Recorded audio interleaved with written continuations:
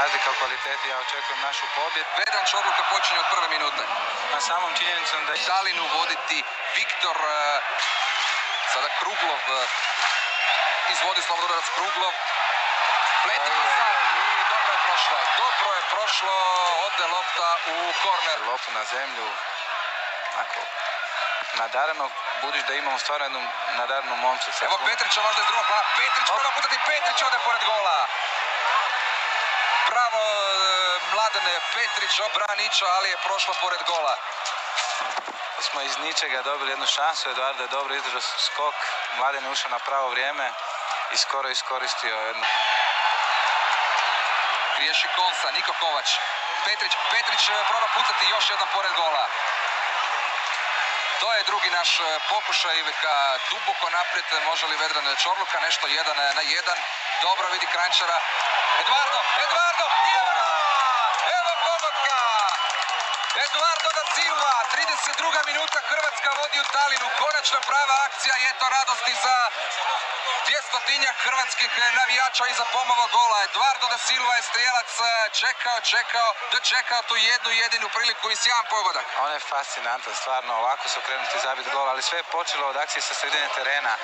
Kad su se izmijenili Srna i Čorluka, Srna je kasnije sa sredine dao Čorluku loptu koju je ubacio sredinom, Niko Krančar nije dobro primio loptu, na sreću ovaj put moramo reći, jer je došla do Eduarda koji je na jedinstveni, stvarno, njemu osobojan način realizirao Brojali su stvarno nikakvu šansu, leđima je bio okrenut. brojali su se svi njegovi pogodci ove sezone silni za reprezentaciju i za Dinamo i nijedan nije bio izvan 16 metara, evo prvoga i izvan razdanog prostora.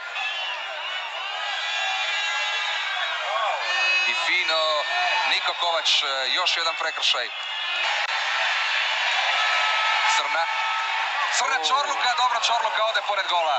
U, fantastičan centar. Robert Kovač. Traži se Eduardo, uspio primiti Eduardo, evo Petrića, ali Bravo. dobro Eduardo tamo za Krančara na drugu stranu. Krančar 1 na 1, traži protozura, Krančar i ode pored gola. Ode pored gola, ali je Sve što moramo srljati naprijed. Babić e, nema za Petrić na udarcu Petrić, ali ovo nije bilo dobro, ni ovo nije pravi pet. Srna.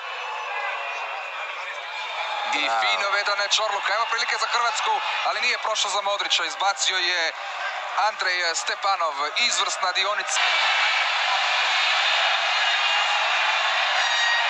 Velika guža pred Pletikosom. Opasno Pletikosa skida. Čini mi se da Pletikosa skida ovu sam napravi dobru devijaciju prema golu, Pletiko se odlično reagira. Ciljev.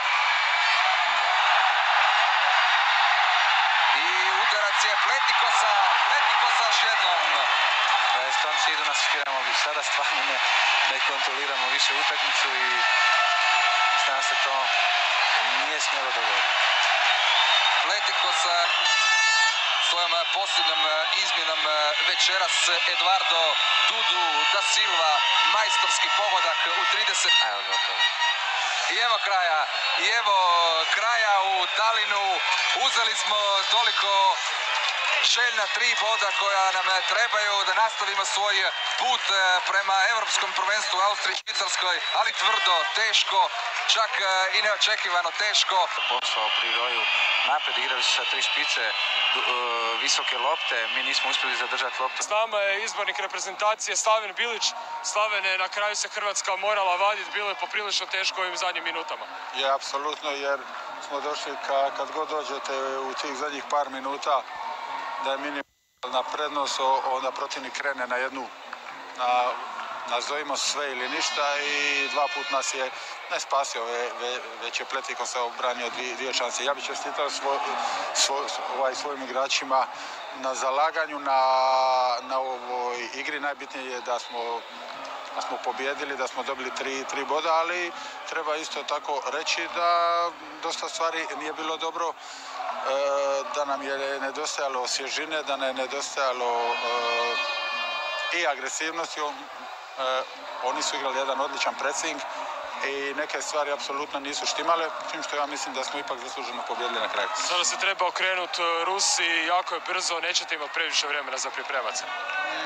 Pa da, ali šta je tu je, imali smo jednu jako zahtjevnu utakmicu sad, za tri dana nas čekaju Rusi, trebamo letiti nazad, ali skupit ćemo snagu i suprosta i ja, se, ja sam siguran da ćemo za Rusiju nošeni publikom biti spremni.